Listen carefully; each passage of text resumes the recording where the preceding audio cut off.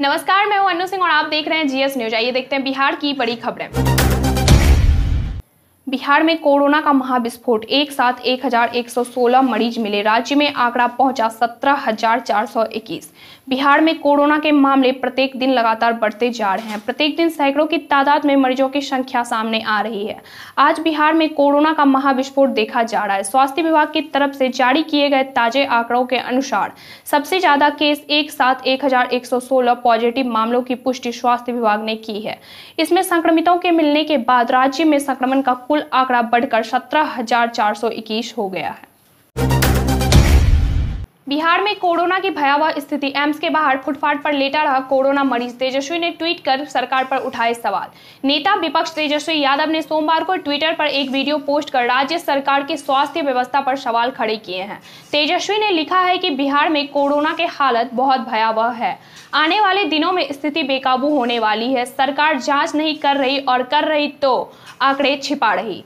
तेजस्वी ने जो video post किया है, उसमें पटना एम्स के बाहर एक कोरोना मरीज़ लेटा है और परिजन उसे भर्ती करने के लिए गुहार लगा रहे हैं।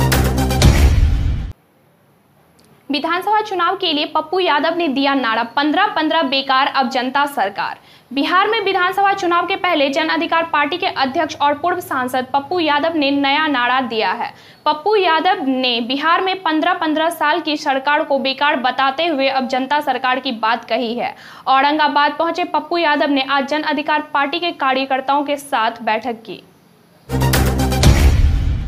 आज से बिहार झारखंड के बीच ट्रेनों का परिचालन बंद। बिहार से झारखंड आने वाली ट्रेनें आज से नहीं आएँगी। राज्य में कोरोना के बढ़ते संक्रमण को देखते हुए रेल मंत्रालय ने सीएम हेमंत सोरेन के आग्रह पर इस बाबत आदेश जारी किया है। अगले आदेश तक बिहार से झारखंड आने वाली ट्रेनों का परिचालन बंद रहेगा। पुष्पम प्रिया की सीएम नीतीश को चिट्ठी। खुद को बिहार में मुख्यमंत्री पद का उम्मीदवार घोषित कर चुकी पुष्पम प्रिया चौधरी ने सीएम नीतीश कुमार को चिट्ठी लिखी है। चिट्ठी में उन्होंने स्वर्गीय सुशांत सिंह राजपूत को श्रद्धांजलि देने के लिए पटना के तारा मंडल को उनके नाम से करने का आग्रह किया है। पूर्णिया में फोटोशूट के दौरान नहर में डूबे तीन दोस्त। पूर्णिया ज़िले में फोटोशूट के दौरान तीन दोस्त नहर में समा गए। घटना सदर थाना क्षेत्र के दमका चौक स्थित गुलाब बाग नहर की है। जानकारी के अनुसार नहर में डूबे तीन दोस्तों में से एक की मौत हो गई है। वहीं स्थानीय तैराकों की मदद से नहर में डूबे दो अन्य युवकों को नहर से ढूंढ निकाला गया। बिहार विधानसभा चुनाव में मुख्यमंत्री नीतीश कुमार की पहली वर्चुअल रैली को सफल बनाने में जुटी जेडीयू। बिहार विधानसभा चुनाव तथा दल के राष्ट्रीय अध्यक्ष नीतीश कुमार की 7 अगस्त को होने वाली पहली वर्चुअल रैली के मद्देनजर बिहार के सत्ताधारी दल जदयू की विधानसभा वार वर्चुअल कार्यकर्ता सम्मेलन 18 जुलाई से आरंभ होगा। 31 जुलाई तक चलने वाले इस सम्मेलन को पार्टी के प्रमुख नेता संबोधित करेंगे। इसके लिए पार्टी अपने चार प्रमुख नेताओं के नेतृत्व में चार टीमें गठित की है। खबर में आगे बढ़े, उससे पहले आज का फास्ट जीएस रिप्लाई का सवाल आ रहा है। तो तैयार हो जाइए कमेंट बॉक्स में अपना जवाब देने के लिए। तो सवाल ये रहा आपके मोबाइल स्क्रीन पर। कारगिल युद्ध कौन सी ईस्वी में हुआ था? आपके ऑप्शन है ऑप्शन ए, उन्नीस ऑप्शन बी 2019 ऑप्शन सी, उन्नीस सौ निन्यानवे और ऑप्शन डी 1918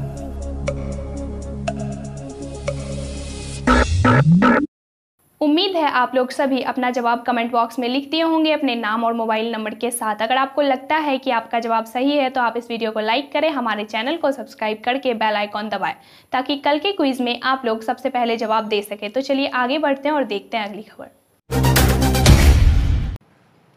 कोरोना काल में तबादलों पर बिहार पुलिस एसोसिएशन ने जताया ऐतराज। मुख्यालय से ट्रांसफ़र पर रोक लगाने की मांग। कोरोना काल में पुलिस अधिकारियों के तबादले पर बिहार पुलिस एसोसिएशन ने ऐतराज जताया है। बिहार पुलिस एसोसिएशन के प्रदेश अध्यक्ष मृत्युंजय कुमार सिंह ने मुख्यालय आईजी को पत्र लिखते हुए कहा कि कोरोना काल में संक्रमण की स्थिति को देखते हुए तत्काल उन तबादलों का आदेश स्थगित कर देना चाहिए जो पिछले कुछ दिनों में किए गए हैं। सुप्रीम कोर्ट ने शाही परिवार को सौंपा। श्री पद्मनाभ मंदिर का खजाना वही करेगा देखभाल। सुप्रीम कोर्ट ने केरल के ऐतिहासिक श्री पद्मनाभ स्वामी मंदिर के प्रशासन में त्रावणकोर शाही परिवार के अधिकार को बरकरार रखा। श्री पद्मनाभ स्वामी मंदिर के मामले के प्रबंधन वाली प्रशासनिक समिति की अध्यक्षता त्रिवेंद्रम के जिला न्यायाधीश करेंगे। कोर्ट ने केरल उच्च न्यायालय के 31 जनवरी 2011 के उस आदेश को रद्द कर दिया, जिसमें राज्य सरकार से श्री पदनाव स्वामी मंदिर का नियंत्रण लेने के लिए न्यास गठित किया गया था। माना जाता है कि यह भारत का सबसे अमीर मंदिर है। सावन का दूसरा सोमवार आज देवघर से कड़े बैद्यनाथ के ऑनलाइन दर्शन। पवित्र सावन महीने की आज दूसरी सोमवारी है। भगवान शिव को सोमवार का दिन सबसे प्रिय है। सावन की दूसरी सोमवारी आज सुखद संयोग देने वाली है। आज सावन कृष्ण अष्टमी सोम प्रदोष व्रत भी है। सावन महीने के सभी सोमवार भगवान शिव की पूजा के लिए विशेष माने जाते हैं। इस दिन भक्त घर पर या मंदिरों में जाकर जलाभिषेक करते हैं, लेकिन इस बार कोरोना महामारी के कारण श्रद्धालुओं को शिव मंदिर में प्रवेश कर जलाभिषेक करने की अनुमति नहीं दी गई है।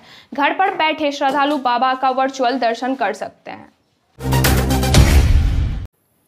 खगड़िया में बाढ़ के पानी में डूबकर भाई और बहन की हुई दर्दनाक मौत। खगड़िया के बैलदौर में बाढ़ के पानी में डूबकर भाई और बहन की दर्दनाक मौत हो गई। बाढ़ के पानी में स्नान करने के दौरान दिघौन गाँव में यह घटना हुई। काफ़ी मशक्कत के बाद ग्रामीणों ने दोनों का शव बरामद किया। मृतकों में अंकिता कुमारी जिसकी उम्र 12 वर्ष और रुस्तम कुमार जिसका उम्र छह वर्ष है। बुडको के एमडी कोरोना संक्रमित दफ्तरशील अन्य कर्मचारियों की होगी जाँच।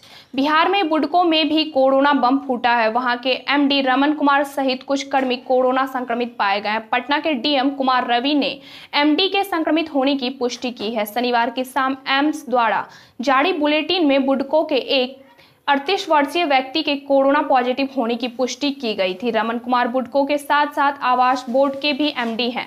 फ़िलहाल बुडको के यहाँ के राजा पुल स्थित दफ्तर को बंद कर दिया गया है।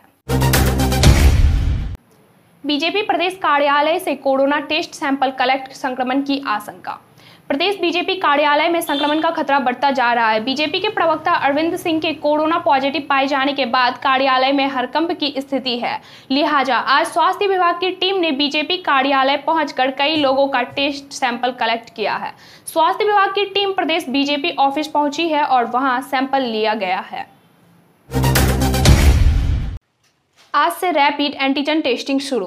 पटना ज़िले में सोमवार से रैपिड एंटीजन किट के माध्यम से कोरोना वायरस की जाँच शुरू हो रही है। इसी के मद्देनजर रविवार देर शाम पटना के कुछ अस्पतालों में यह किट पहुँच चुका है। वहीं पटना में अब महामारी की तीन प्रकार से जाँच करने की सुविधा उपलब्ध हो गई है। क्या आईएएस आईपीएस अफसरों के दबाव में नीतीश कुमार ने निष्क्रिय किया स्पेशल विजिलेंस यूनिट? बिहार के सीएम नीतीश कुमार ने 15 अगस्त 2007 को पटना के गांधी मैदान में स्वतंत्रता दिवस के मौके पर भ्रष्टाचार के खिलाफ एक जोरदार भाषण दिया था। तब ऐसा लग रहा था, मानो बिहार से करप्शन के नामो निशान मिट जाएँगे, लेकिन अब ऐसा होता नहीं दिख रहा है। ट्रिपल आईटी भागलपुर ने खोजा सॉफ्टवेयर। डिजिटल एक्सरे सॉफ्टवेयर में एक सेकंड में ही पता चल जाएगा कि मरीज़ कोरोना पॉजिटिव है या नहीं। खर्च होंगे मात्र एक सौ रुपये भागलपुर ट्रिपल आईटी के कोरोना जाँच के डिजिटल एक्सरे सॉफ्टवेयर तैयार किए गए हैं। इसके बाद एक सौ रुपये खर्च करके एक सेकेंड में कोरोना की जाँच हो सकेगी। Indian counselling of medical research एक दो दिन में अपनी स्वीकृति दे सकता है। एमएचआरडी ने भी सॉफ्टवेयर की सराहना की है। और निर्देशक अरविंद चौबे तथा उनकी टीम को बधाई दी है।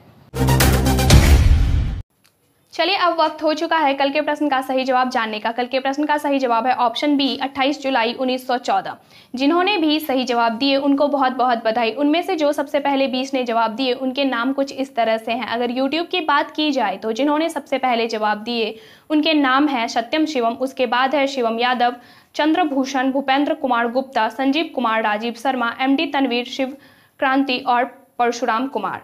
इसके अलावा अगर फेसबुक की बात की जाए तो जिन्होंने सबसे पहले जवाब दिए हैं, उनके नाम हैं सत्यम यादव, उसके बाद है शिवम यादव, प्रतिभा झा, परशुराम कुमार, आनंद कृष्णा, प्रभात रंजन एम डी अंजार, अमलेश कुमार, पुष्पेश परासर, बिट्टू कुमार और मनीष यादव। बहुत बहुत धन्यवाद सबको।